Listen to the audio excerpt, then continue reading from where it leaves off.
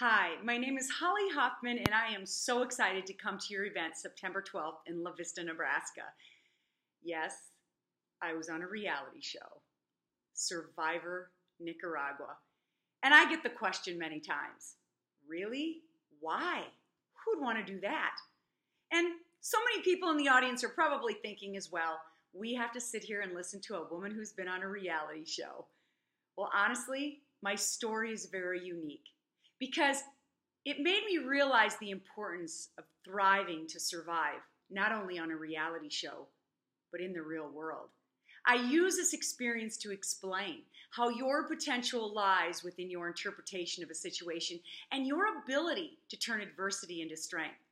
We are all trying to survive both professionally and personally.